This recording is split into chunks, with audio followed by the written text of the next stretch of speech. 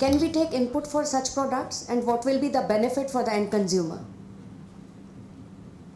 Since all are now GST, so earlier if I am service tax registered, I couldn't have taken the input benefit for the excise. So will it be beneficial to the end consumer or not?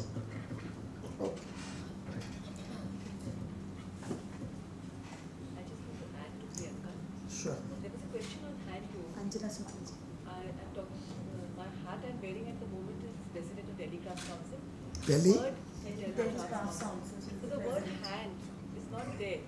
It comes under a broad category of textile. The hand handloom, the handicraft, that word is not there. And we sent a petition to the Prime Minister, so I thought I'm not going to speak, but because there was a question, I thought I should add that, that the word hand is missing. Yeah. That's it. Thank you.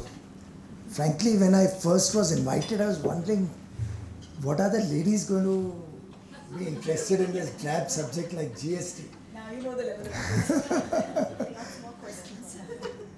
Uh, Miss Marianne, f- first of all, about demonetization, we obviously didn't know what the impact will be or how we'll implement it. None of us knew about it. That had to be a surgical action. It couldn't have been something where you sit and plan for six months and one year, as was being sought to be suggested by some of the opposition leaders. If we had planned for six months, it would have been out well in advance, and that the jeweler would not have been caught catching, collecting 95 crores or trying to launder 95 crores. So that had to be a surgical action. Maybe some of you have suffered in that. My apologies to them. But for India, it has at least set the path right that now people are not going to hoard cash and we'll be very careful while transacting with cash. We've also brought in a law that uh, you cannot have a transaction above a certain amount in cash. That has also been brought in now. So gradually, if, suppose I withdraw 2 crore, 5 crores from the bank, it'll immediately give a red alert. Why have I drawn so much money? Salaries can all be paid by check. All your purchases are paid by check or credit card in your cases. So why do people need cash?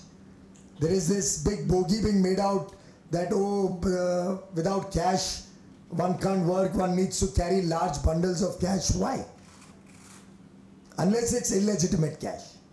If you are paying for a tran- for the transaction through honest money, we'll pay by credit card, debit card, digital means. So many means are there. Right? आप आप सब अपने अंदर सोचिए we are not getting into uh, I'm not blaming anybody or anything when do you pay by card and when do you pay by cash? Think about it. I don't want an answer from all of you. That has to change in the country. That's why demonetization was brought in.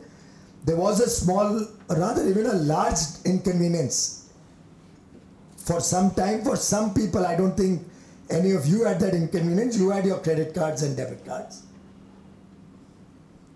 But that inconvenience they took it very very sportingly because the people of india trust prime minister modi. The people of india trusted that it's good for india you remember that television anchor going and shoving that mic up the mouth of the people standing in a queue for two two hours and trying to make him make them say something against the prime minister against demonetization. You've all seen that. Even in that line or a person who was not well or lying on the floor said but don't worry i support the prime minister. He's doing good for the country. And you saw the results after that one after the other election. Because the common man of india wants an honest india wants a corruption free india. They supported it wholeheartedly. Gst of course was a well planned move. Here all the states were equally involved. All the states finance ministers have an equal say. So in the 30 member 29 member 30 member gst council everybody has one vote one voice. The voting percentages based on the uh, center and state slightly differ but everybody has one voice and an effort is that all should be unanimous decisions. And as i said 19 meetings 100% unanimity. So GST was well much better planned, anticipated, and therefore you didn't find any difficulty.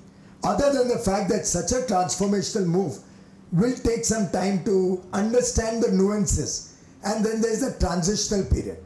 As many ladies asked about the transitional stocks, that problem will continue to be there for some more time. Priyanka wanted to know about handlooms. First of all, less competitive internationally, not possible. In fact, more competitive internationally. Because earlier, there were many indirect taxes that were paid at various stages while making handloom, like entry tax or octroi. You would never get a refund of that. Or if there was some excise duty or tax paid at intermediate levels for any of the material you bought, maybe packing material, maybe containers, boxes, or whatever, all that was lost in the system. Now you can take a credit of each and everything that you buy. The tax is paid on that. So internationally, you'll obviously become much more competitive. Also, you'll be protected from imports because the GST rate will be also charged on imports as a countervailing duty. IGST it is called now. Earlier it was countervailing duty. So in fact, you will protect your market from indiscriminate imports also. And as regards the local competitiveness, two good things. One, whatever the rate, it's same for everybody. It's not that in Maharashtra it's different, in Gujarat it's different, in Delhi it's different. So competition will be equal. One can argue rate should be more or less, that's a different argument. But the competition being equal, you'll be again successful on your quality of service or quality of goods. Second, handloom by nature are made by small units. I thought handloom is something where you are encouraging people to handloom, right? That's the word. So I don't know where which lady or self-help group or whatever is making handloom in such a large measure that they'll cross 75 lakhs. So up to 20 lakhs, it's tax free. Up to 75 lakhs, 2% for the manufacturer. If they are retailers, then only 1%. And above 75 lakhs, then I think it's lost the character of a small unit. Then it should pay the tax and then come in the competition with others in the same category. So the advantage is fair competition, not an unfair advantage to one or the other, except the small people who are genuinely making handlooms at a small scale. Poonamji, about the pharma and FMCG stocks, wherever you have the invoice of your purchase, and if it reflects excise duty or VAT or whatever paid, you get that fully. Otherwise, I think that 40 has been increased to 60% on transitional stocks. Uh, I don't know about that, but at least the rest of the forty percent. Well, ultimately, in a transitional period, one will have to go by some general formulas. So the manufacturer pays for it. Which manufacturer? Manufacturer, this is only at the stage of final sale. If it's a manufacturer, he will calculate his input credit and accordingly price his product. The pricing of product is not a controlled price. The pricing is of the manufacturer himself. But taking your point forward, this transitional period is going to have a little hiccups where some people may gain, some people may lose a little bit. But that there is no other way to make this transition any smoother. You can't allow everybody to get 100% credit because those records are not available. Many people may have bought in cash without paying the tax altogether. I'm, we are having this problem in certain sectors where people are, after a lot of fight and strikes and everything, they boil down to this issue that okay, everything else is okay. What do we do with the stocks we bought in cash for which we have no purchase invoice? So these, that, we really have no answer for that. If you bought in cash, how can we find a solution to your having not purchased it through honest means?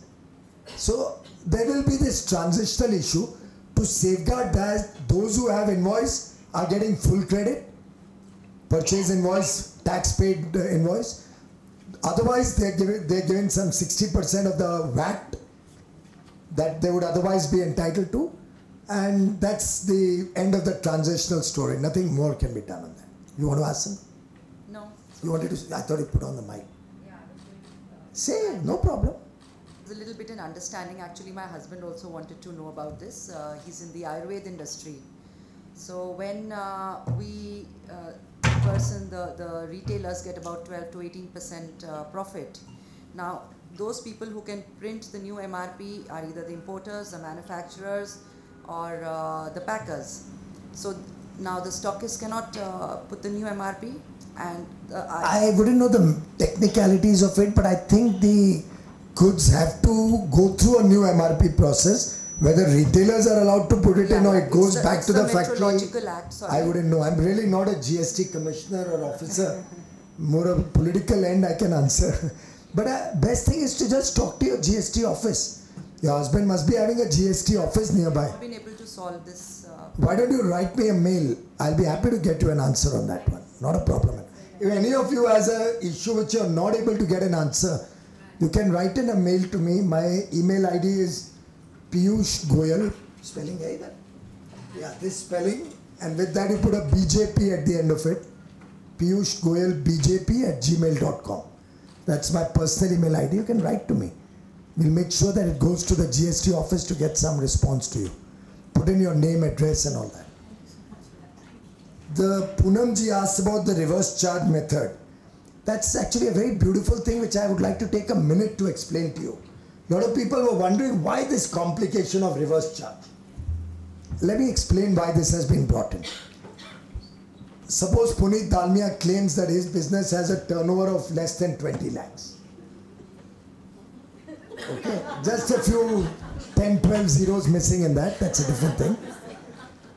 But if he says his turnover is less than 20 lakhs, how will we ever know that his turnover is more or less than 20 lakhs?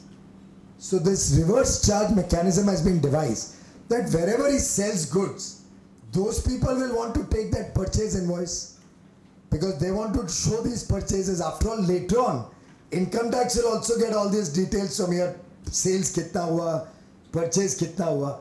पूरी economy को साफ करना है ना सिर्फ indirect tax नहीं So when he sells to 20 people, maybe 2 2 lakh rupees worth of goods, but himself claims that he's below 20 lakhs, those 20 people will have to show that purchase invoice, charge a reverse charge on it, the, uh, the GST will have to be paid on it, and that'll come into the computer that Puneet Dalmia 2 lakh udhar, 2 lakh udhar, 2 lakh udhar, 2 lakh udhar. Lo and behold, it's crossed 20 lakhs. So we'll be able to catch hold of him. You've not shown your sales correctly. You need to register yourself. That's why this reverse charge has been brought in. But the moment you pay this money, you take credit simultaneously. So you pay 100 rupees as under reverse charge as GST.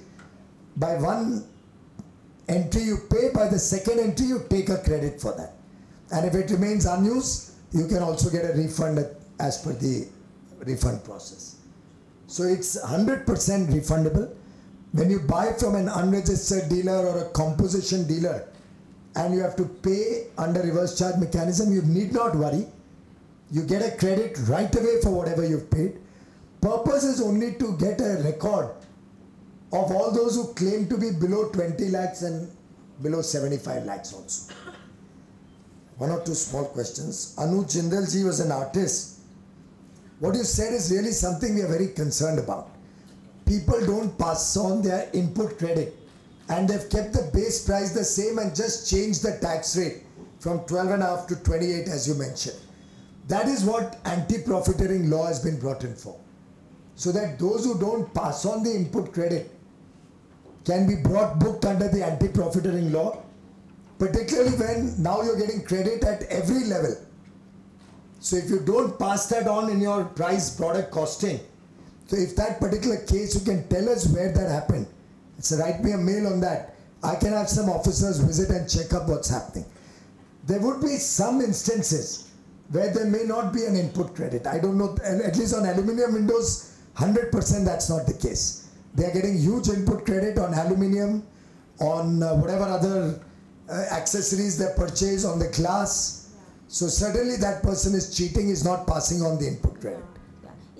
Rather than I complain or anybody else complain, can we have a general, just a, uh, a sporadic checking by officers? You know why we are trying to avoid that sporadic checking as yet is that we don't want to get into the harassment mode. We want more and more voluntary compliance. Otherwise, the harassment will start, it'll be even worse. We've all seen, I told you about the harassment we used to have in the good old days or the bad old days, whatever.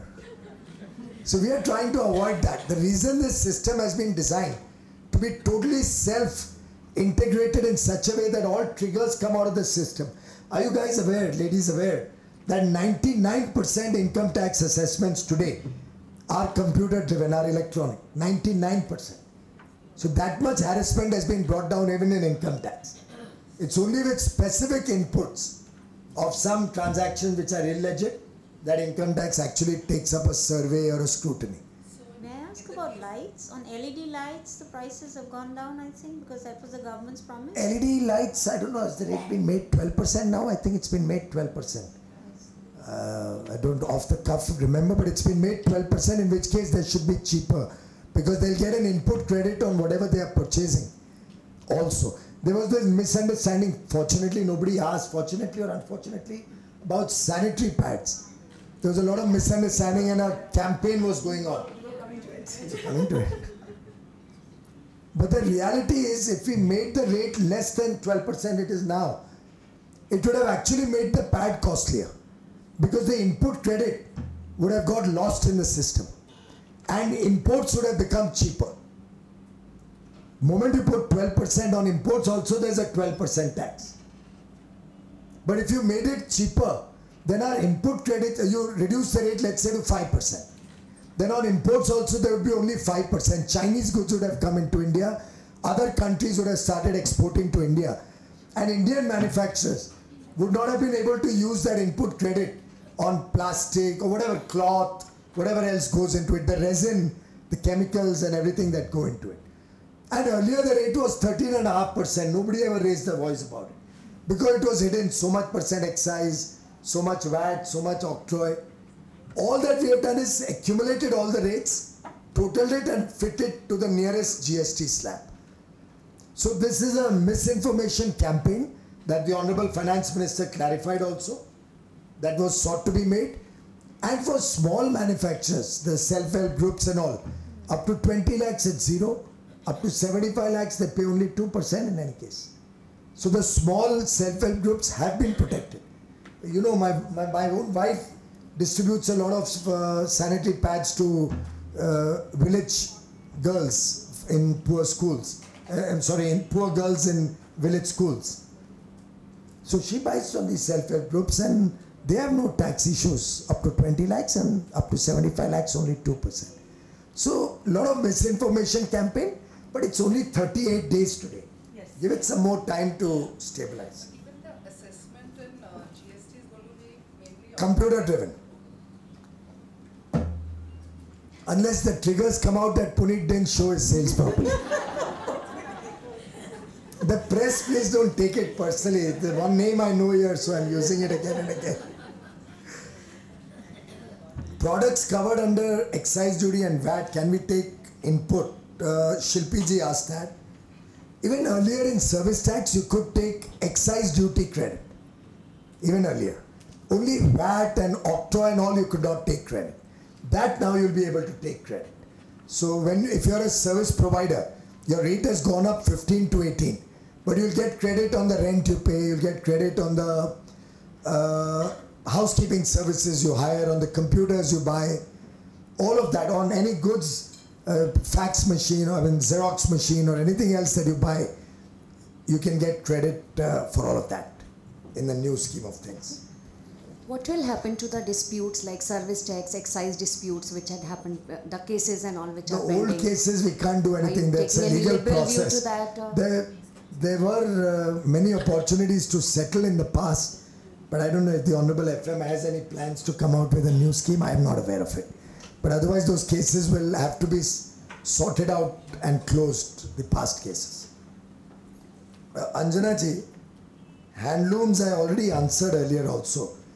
But other than that, once you get into the organized sector, then it'll have to be at the rate of tax. But let's see if, if at all you've made a representation, if they reconsider. Thing is, reconsideration cannot be done by Mr. Modi, Mr. Jaitley, or central government alone. Only the GST Council has the power. So we have abrogated our power to the GST Council. And we have to get all the states on board when we make any change. Because half the tax goes to the state, of the half that comes to us also, more than 60% goes back to the states. So really, out of every hundred rupees GST you pay, more than eighty rupees is going to your state for its welfare activities and other administrative costs. Center is a very small player in this entire GST framework. Thank you. We are supportive of GST, but it doesn't come under handloom, it comes under textile. What thing? I'm saying it's a broader category of textile. What about it? The five percent that we introduced very recently comes under the broad category of textile. It doesn't say I didn't understand. Maybe you'll have to send me your representation, then I'll Maybe you can send the mail, uh, mail to me. I wanted to ask you, Piyush ma'am, what is the reason that uh, real estate and electricity is being kept out of GST? Well, we were very keen. Real estate is in GST. Uh, alcohol is kept out of electricity, uh, out of uh, GST. Uh, petroleum products, alcohol, and electricity. These are the three things that are not under GST. We are very keen that they should all be brought under GST. Unfortunately, we couldn't get consensus amongst all the states. And as I've repeatedly said, this is something which has to be agreed unanimously by all the states and the center. We are ready to start it right away. But then finally, we took the view let's not have the best becoming the enemy of the good. So let's at least move in. Most items of common use and regular use and items where there was possibility of corruption have been brought into the GST framework. Just like VAT when it was originally introduced, some states had not come on it, but very soon they saw the virtues and came on board. I think same way you will see uh, in GST also. The states will come on board on electricity and petroleum products also soon. Thank you, thank you very much, Excuse me? Uh, may I now request Avantika Dalmia, governing body member of FLO, to give the vote of thanks. Excuse me. Um, can I just ask one last question here? Um, Let the women have the last, uh, last words. we'll talk when I'm as I'm stepping.